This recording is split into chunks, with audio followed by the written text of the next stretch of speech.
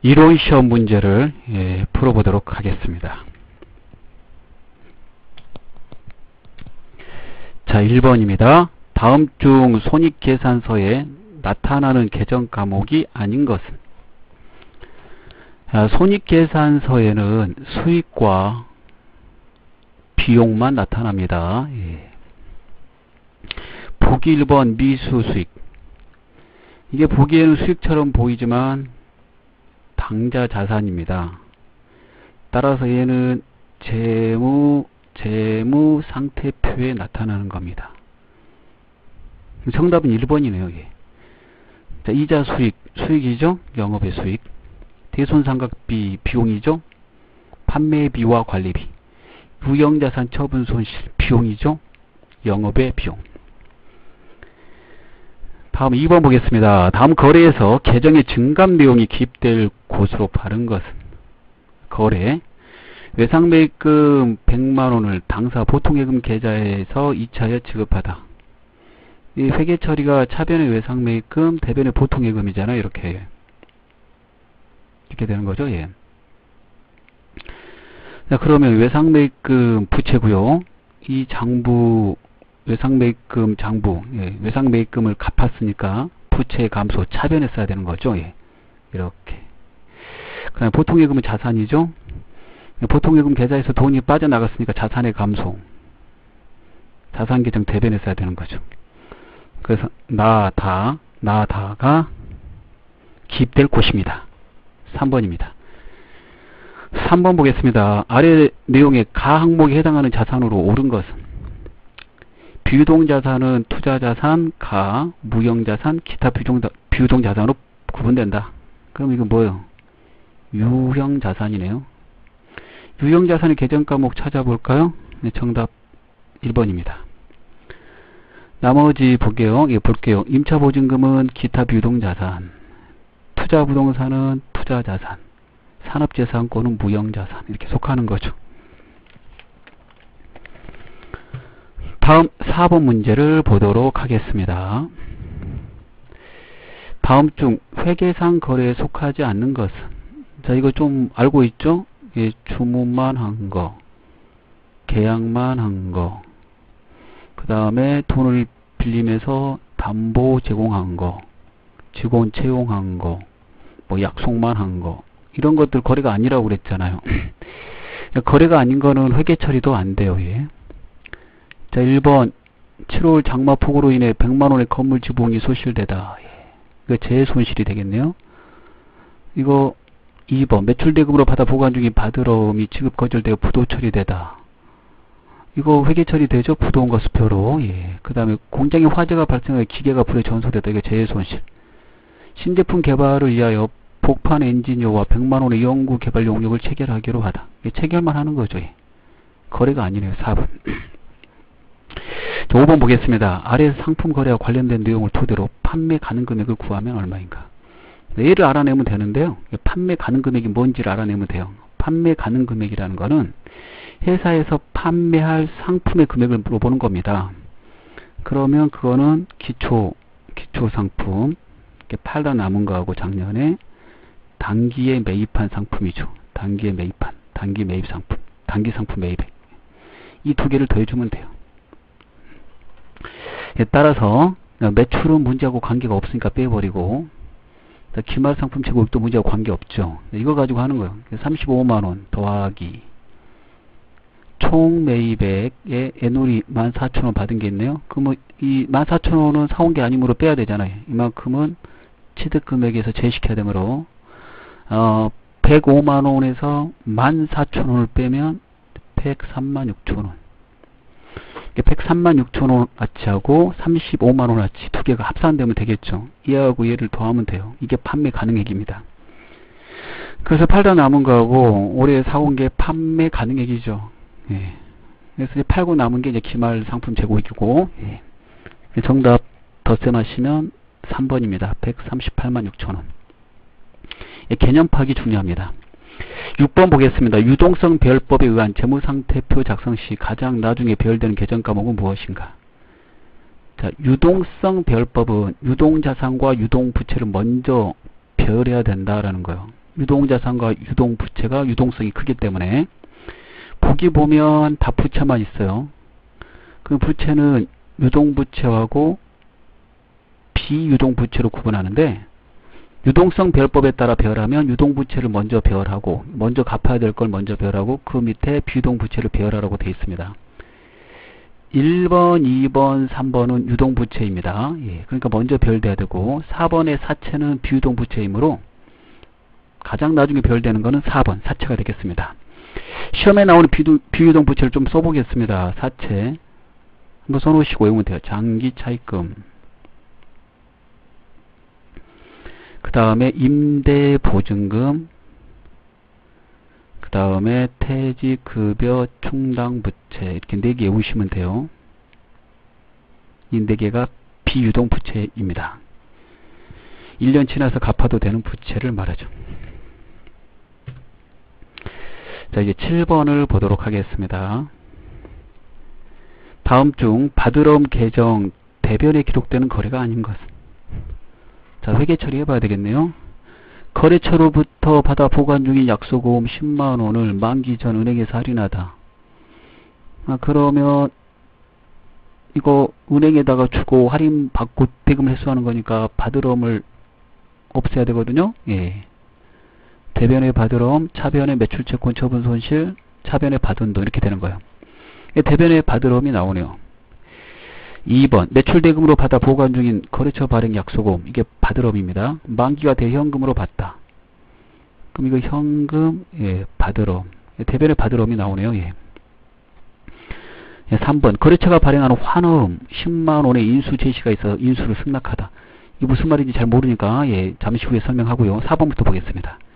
외상매입금을 지급하기 위해 소지하고 있던 거래처 발행 약소금을 배서 양도하다. 네, 그러면 차변의 외상 매입금 가지고 있던 약소금이니까 받으럼이죠. 이걸 넘겨줬다라는 뜻입니다. 뒷면에다 우리 회사 인적사항 쌓았고 그게 배서 양도거든요. 예. 대변의 받으럼이네요. 일단은 3번을 무슨 뜻인지 몰라도 답은 찾을 수 있어요. 3번이잖아요. 예. 환음은 우리의 시험범에서 좀 거리가 먼 건데 일단은 잘 안 나오는 거라 이거예요. 예. 보기에 나옴으로 인해서 좀 설명이 필요하고요. 나머지 답을 찾는 데는 문제는 없었어요. 예.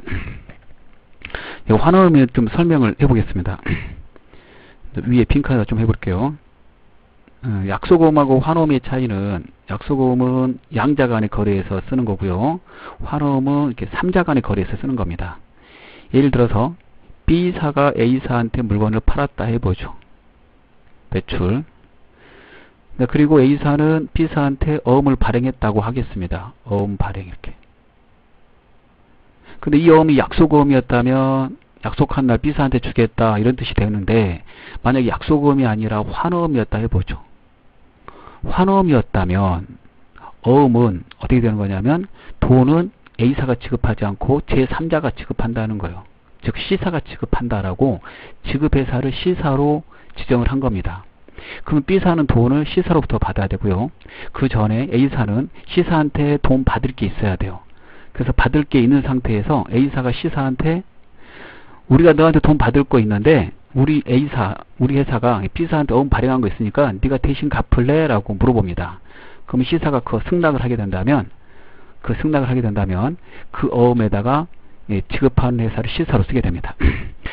그러면 이제 회계처를 잠깐 이어서 보면 그러면 A사하고 B, 어, A사하고 C사의 관계를 보면 C사가 A사한테 갚아야 될 외상 매입금이 있다고 해보겠습니다. 얘는 받아야 될 외상 매출금이 있다고 해볼게요. 얘는 외상 매출금, 얘는 외상 매입금. A사가 갚아야 될 어음을 C사가 갚기로 했으니까 인수를 한 거예요. 예, 승낙을 한 겁니다. 대금은 이제 B사한테 갚아야 되고, 그래서 C사는 그 인수를 했으니까 어음 대금을 갚아야 되므로 그 어음 받으면 인수를 하면 지급어음이라고 회계 처리해야 되고요. 이 지급어음 받, 어, 갚아야 될 거래처를 A사가 아니라 B사로 해줘야 됩니다. 외상 매입금 갚아야 될 거래처는 A사였는데 A사한테 외상 매입금을 A사 승낙하에 A사가 발행한 어음을 B사한테 갚음으로 인해서 어, 채무를 소멸하려고 우리가 승낙을 했기 때문에 지급어음은 이제 B사한테 갖게 되는 거죠.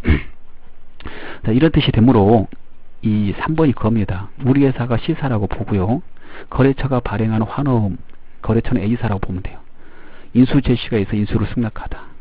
그러면 외상 매입금 갚아야 될 게 있다고 하면 A사에 우리 회사가 어음을 승낙하면 지급어음 되고 이 C사한테 우리가 갚아주면 돼요. 예. 이 거래처는 바뀐 거죠. 그래서 대변의 지급어음이 됩니다. 이게 좀 어렵죠? 예. 근데 이 시험 문제 받았을 때 기출 문제에서 이렇게 나온 건 없었는데 지금까지 쭉 풀어봤을 때 아, 문제 푸는 데는 지장은 없었습니다. 자, 8번 보겠습니다. 다음 중 장부 마감 시 차기 이율로 마감할 수 없는 계정은 자, 차기로 이율되는 거는 자산, 부채, 자본이라고 그랬어요. 이거 풀어본 적 있죠? 얘만 차기로 이율되고 수익과 비용은 이율되지 않고 소멸한다 라고 그랬어요. 정답 4번이잖아. 얘가 수익이니까 차기로 이율되지 못하죠. 자, 이제 9번 문제를 보도록 하겠습니다. 다음 현금 과부족 계정에 가로 안에 들어갈 계정 과목은 그랬네요. 예. 현금 과부족 계정은 현금이 부족하면 차변에 남으면 대변에 쓰는 겁니다. 예. 가로 안에는 12월 31일이네요. 예. 어, 거래를 좀 설명해 보면 이렇게 됐는데요. 12월 8일자로 현금이 남았나 봐요. 현금 과부족 대변에 3만원 써놨네요. 그 회계 처리가 현금, 현금 과부족. 이거 보고, 이 장부를 보고 이렇게 분개할 수 있어야 돼요. 예. 그 다음에 12월 10일자로 남은 돈이 이제 남는 게 3만 원이었는데 그 중에 15,000원 내게 밝혀졌어요. 이자 받은 걸로. 그래서 현금 과부족 차변에서 15,000원을 빼고 그거 이자 수익이라고 이자 받은 거였다. 이자 받은 걸 받겠다. 이자 수익으로 이렇게 대체했습니다. 이거 장부에다 옮겨 적을 때 현금 과부족 계정 장부에 옮겨 적을 때 현금 과부족 대변에 쓰면 대변에 써주고 상대 계정을 갖다 여기다 써주는 거거든요. 그러니까 이거는 차변이니까 차변에 써주고 상대 계정이 이자 수익이 있으니까 이렇게 쓰는 거예요. 그 다음에 이제 12월 31일이죠. 음, 3만 원이 남았는데 15,000원만 여기 밝혀졌고요. 그래서 이자 수익으로 잡았고 나머지는 12월 31일 결산일인데 원인이 밝혀지지 않는 거예요. 그럼 남은 상태였으니까 뭘로 대체돼야 돼요? 예, 자비으로 대체가 돼야 되잖아요. 정답 2번이 되겠습니다. 그럼 10번 보겠습니다. 다음 중 감가상각의 대상이 아닌 것으로 묶은 것은 이거 잘 나오는 거죠? 2번이죠. 11번 보겠습니다. 다음 설명 중 틀린 것은 1번 상품을 매입하고 어음을 발행하면 지급어음 계정으로 처리한다. 맞아요. 2번 120일 만기의 양도소, 양도송 예금증서 이 금융상품이거든요. 현금성 자산이다. 이거 틀렸어요. 현금성 자산은 취득일로부터 만기까지가 3개월 이내야 됩니다. 즉 3개월이니까 90일이 돼야 돼요. 근데 120일이니까 들어갈 수가 없죠. 얘는 이제 단기 금융상품으로 처리가 되는 겁니다. 아, 그 다음에 3번 당전 발행 당좌 수표는 당자예금 계정으로 처리한다. 맞고 4번 보통예금과 당자예금은 현금성 자산이다. 예, 그렇죠. 현금 및 현금성 자산이라고 만약에 하게 된다면 여기에 들어가는 게 이제 세 개인데 현금, 예금, 그다음에 현금성 자산 이렇게 들어가는 거거든요. 예.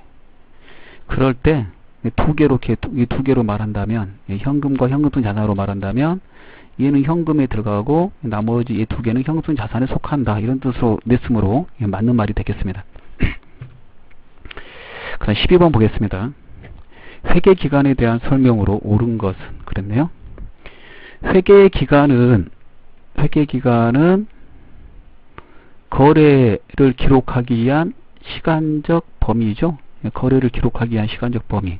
상법상 1년을 초과할 수 없다라고 되어 있잖아요. 상법에. 그래서 1년 이내로 되어 있어요. 그래서 거래를 기록하기 위한 그 시간적 범위다.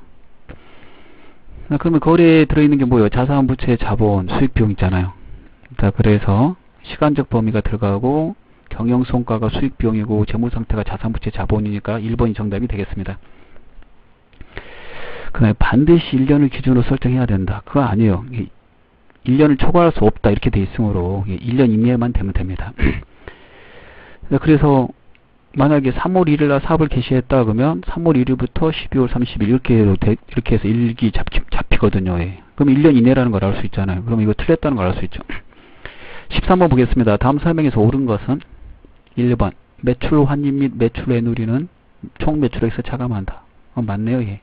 정답인데요. 총 매출액에서 차감하는 거는 매출 환입, 매출의 누리, 그 다음에 또 매출 할인.